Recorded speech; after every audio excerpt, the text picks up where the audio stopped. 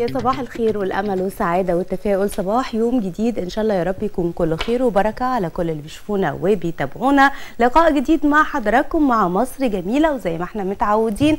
متابعة لعدد كبير من الأخبار الجارية واللي كلها بتمثل طاقة إيجابية لكل المشاهدين ولكل الشعب المصري دايما. يا رب بإذن الله زي ما إحنا متعودين معاكم.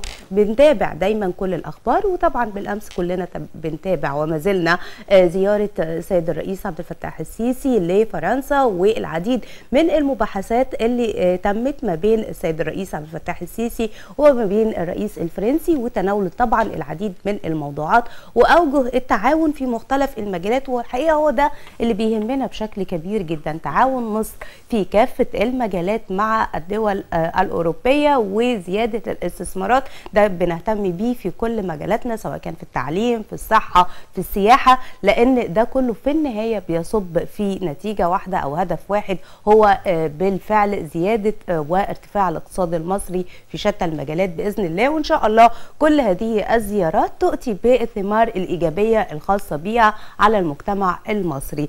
الحقيقة النهارده كمان بنتابع مع حضراتكم اليوم الثاني على التوالي في الجولة أو في الإعادة الخاصة بالجولة الثانية لانتخابات مجلس النواب والنهاردة بينتهي الماراثون الاخير لعضوية مجلس النواب إن شاء الله. بنتمنى التوفيق لكل المرشحين وطبعا في انتظار النتيجة النهائية لبدء وعقد دورة برلمانية جديدة بإذن الله إن شاء الله يكون ليها التأثير الإيجابي في شتى المجالات. الحقيقة النهارده كمان بنشيد بكل الجهود اللي بتتم من قبل وزارة الصحة في الإجراءات الاحترازية الخاصة بمقاومة فيروس كورونا. الحقيقة في الموضوع ده خلينا نقول إننا لابد إننا نتبع الإجراءات الاحترازية وخصوصا في الفترة دي فترة مهمة جدا وبتعد من المراحل أو الفترات الحرجة اللي لابد من الالتفات إليها بأهمية الحفاظ على صحة المواطن المصري لأن يعني زي ما إحنا شايفين للأسف الأعداد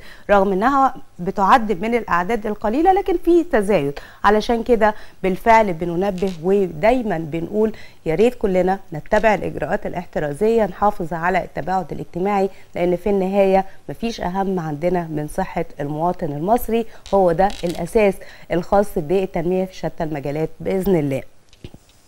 كمان الحقيقة كل الأحداث دي اللي يعني موجودة في العالم لم توقف كل الأنشطة اللي موجودة لم توقف افتتاح المشروعات في مختلف القطاعات لم توقف بالفعل متابعة وتقييم الأداء ونشوف أيضا الحقيقة الجهود اللي بيتم بذلها من قبل الحكومة والسيد رئيس مجلس الوزراء في المتابعة الخاصة بالمشروعات في مختلف المحافظات. كمان على المستوى الفني والثقافي كان في حدث مهم جدا تابعناه أيضا هو مهرجان القاهرة السينمائي الدولي اللي كان فيه حرص على إقامته. رغم كل الظروف رغم كل التحديات اللي بتواجه العالم لكن الحمد لله قدرنا إن إحنا نقيم هذا المهرجان وكانت افتتاحية جميلة جدا أشاد بها عدد كبير من المهتمين بالمهرجانات على مستوى العالم. وده بيؤكد إن بالرغم من كل التحديات إحنا قادرين قادرين في ظل الإجراءات الاحترازية وفي ظل الحفاظ أيضا على صحة المواطن المصري إن إحنا نستمر نستمر في حياتنا ونقيم أو نقيم كل الأنشطة الفنية والثقافية الخاصة بينا. النهارده من خلال مصر جميلة هنلقي الضوء على مهرجان القاهرة السينمائي الدولي وأهم الفعاليات الخاصة به وتأثير كمان إقامة هذا المهرجان في ظل كورونا فيروس اللي بيجتاح العالم والرسائل الخاصة بمهرجان القاهرة السينمائي الدولي. وده هيكون من خلال لقائنا مع الأستاذ محمد بدر الدين عبد الرؤوف الناقد الفني للحديث عن هذا المهرجان.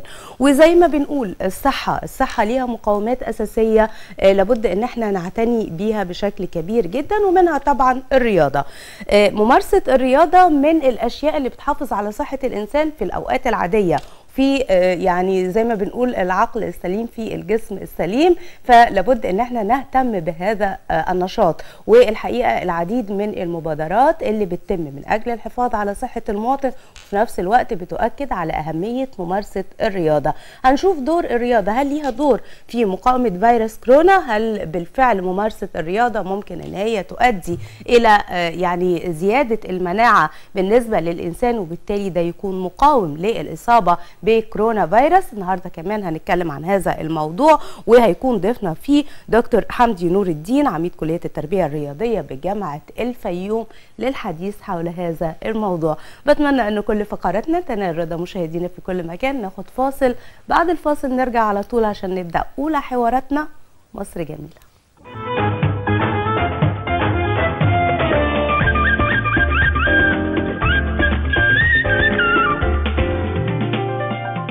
أنا ابن المنوفية وصعيدي يا سيدي وسيدي كان فلاح وأصل فلاح وحي على الفلاح. وأبو زرع طيب يقول حي للإصلاح. وعمال عاملين عملوا الخزف والصيني موصيني أبويا بكل فلاح. وقال لي مصر جميلة مصر جميلة خليك فاكر مصر جميلة.